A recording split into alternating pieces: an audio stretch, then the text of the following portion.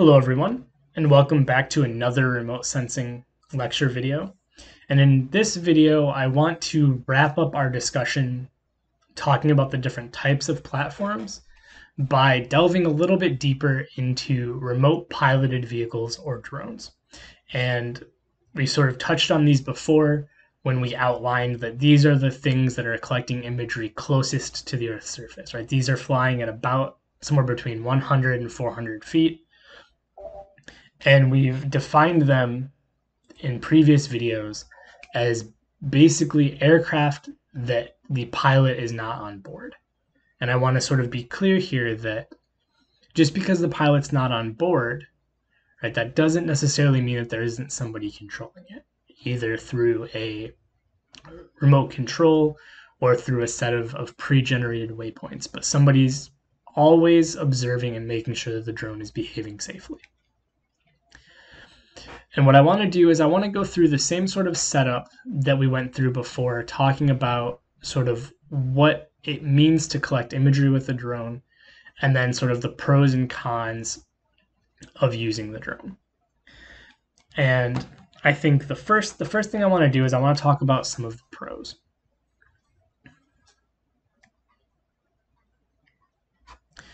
And I think the first pro that I want to talk about is spatial resolution.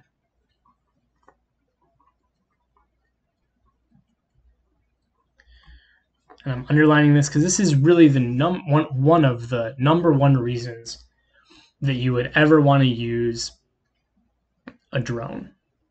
And if you remember back to our discussion on piloted aircraft, right? We said that piloted aircraft you could easily pay someone to get you imagery at say 30 centimeters or half a foot.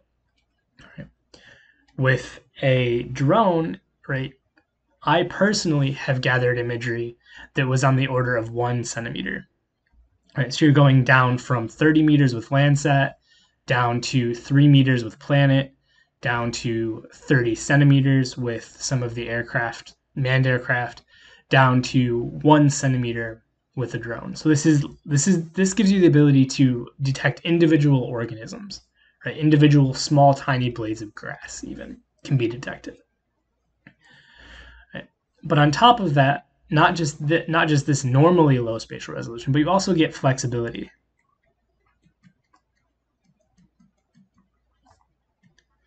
in spatial resolution.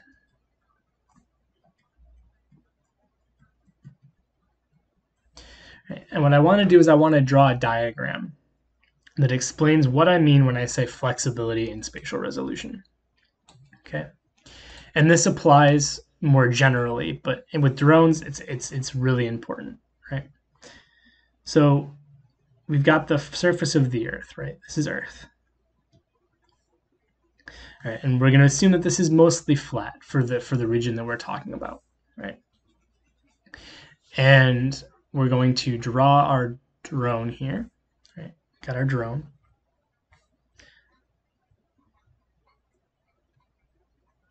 All right, and underneath the drone we have our sensor.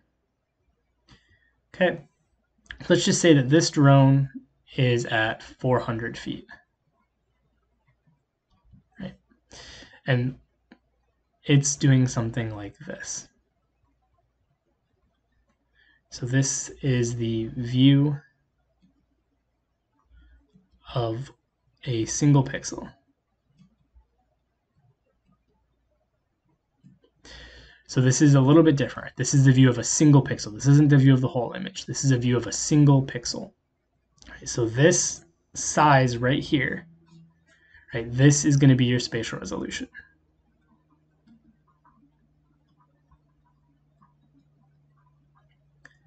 Okay. All right, so at 400 feet, right, the single pixel is seeing this much area. And I'm just going to throw a number out there and say that the spatial resolution of this is, let's just say 10 centimeters. Right, and that means that the side of one pixel would be 10 centimeters. Okay. So let's say that we wanted to get better spatial resolution. Let's say we flew we flew lower. Let's say we flew, let's draw this is a new drone. This is a second drone, right? oh, it's gonna needs to go quite a bit lower because my drawings are terrible. All right.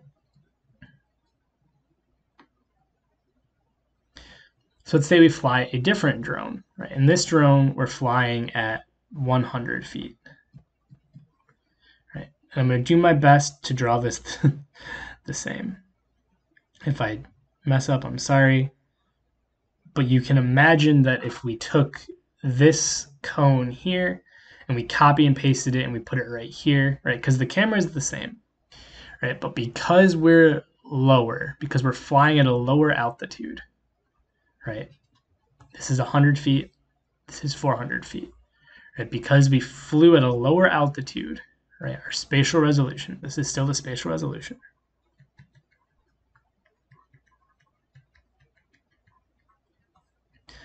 Right. But because we're flying at a lower altitude, right, the spatial resolution is smaller, say one centimeter. Right? So hopefully that makes sense. When you fly at 400 feet, right, the, the pixel sees more ground, so you have a higher spatial resolution. If you took that same drone, you drop the elevation so you're flying at 100 feet, right, now the pixel is seeing less ground, right, the, the area that it's seeing is smaller, so you have a decreased spatial resolution. So hopefully this does two things. One, it shows you the relationship between altitude of the drone in spatial resolution, and that the lower you fly, the higher the higher your spatial resolution. And also, it sort of reinforces the concept of what spatial resolution actually means. Okay, so let's go ahead and let's sort of put that in words, right? The lower you fly, the higher your spatial resolution.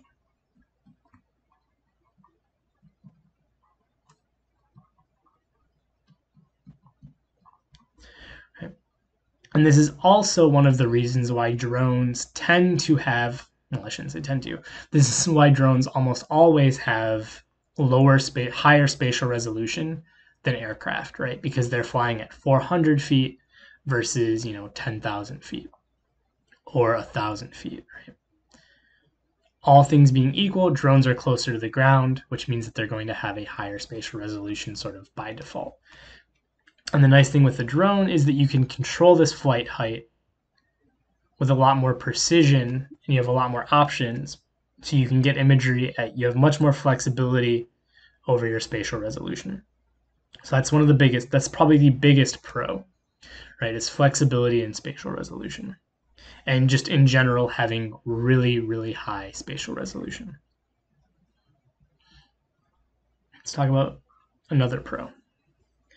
Now, I'm going to put an asterisk next to this one because this is really sort of kind of changing a little bit.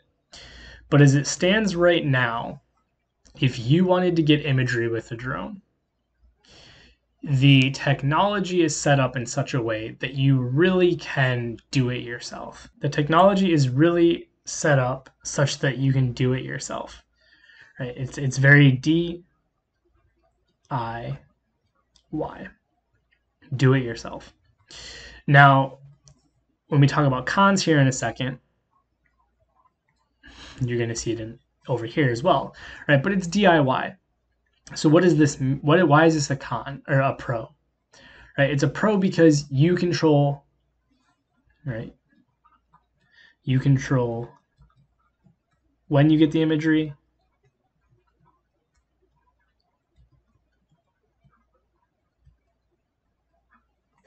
Right. Just like spatial resolution, you control how high you fly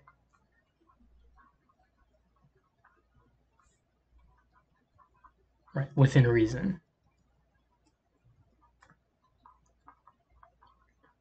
Right, you can't buzz people's heads and you can't fly in restricted airspace.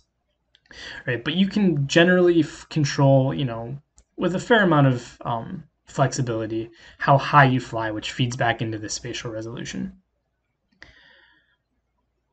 And more importantly, you control when you fly.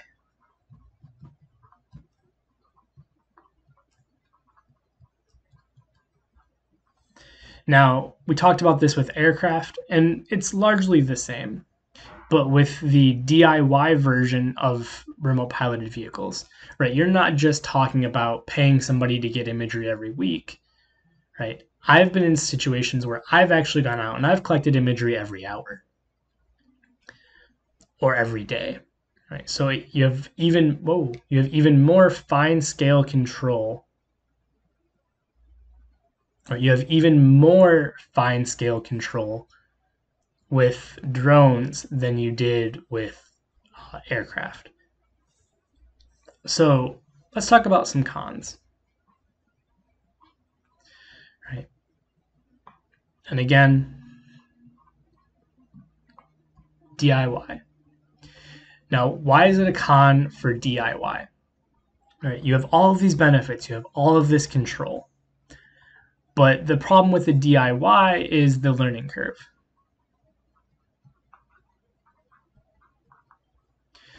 And what I mean by that is if you wanted to collect imagery, say next well, next week would probably be impractical in general. But let's say you were planning an imaging campaign. You needed to get imagery for something. Right? You could call up a company that could fly a piloted aircraft and get you 30 centimeter imagery. Or you could invest in a drone. You could learn how to fly the drone. You could learn how to make the camera integrate to the drone. Right? Then you could fly the drone and come back. And then you'd be responsible for all of the processing. You would have to do all of this legwork. And you would have to know what you're doing to be able to get good imagery. And there's a lot of learning that goes into that. And especially if you are not particularly well educated in remote sensing specifically, right? It's easy to make some mistakes along the way that can really damage your data quality versus piloted aircraft. You just pay somebody, and you know, at the end of the day, maybe a month, six months later, whatever, they give you a, a quality product at the end of it. But with drones, right, if you choose the do it yourself route, there's a lot of learning. Two, and I'm going to put an asterisk here too, up front cost.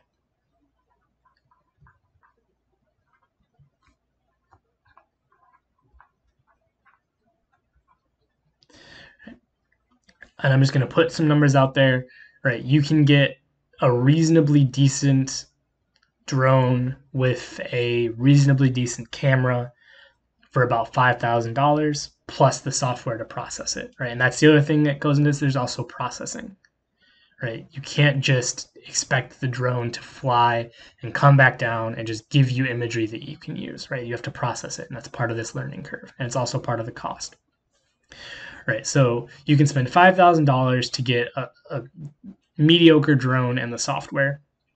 Or more recently, I've been in, trying to invest in, in drones myself for research purposes, and I've come out with a cost with a price tag of about twenty five thousand dollars that I would have to spend upfront before doing any imagery to be able to get a system that I felt did what I wanted it to do. And that includes the software as well again. So again, you know, imagery from satellites and from manned air missions, right? Those images are mildly expensive, but their costs accrue over time because you're buying more and more and more imagery, right? So if you only needed one image, it might not be that bad. With the remote piloted vehicle, right, you have that upfront cost of having to purchase all of the equipment and then, you know, having to go through how to learning how to fly it and how to process it. So hopefully that makes sense. If any of this was confusing, um, I encourage you to go back, rewatch the parts you're confused about. And as always, please reach out. Thank you.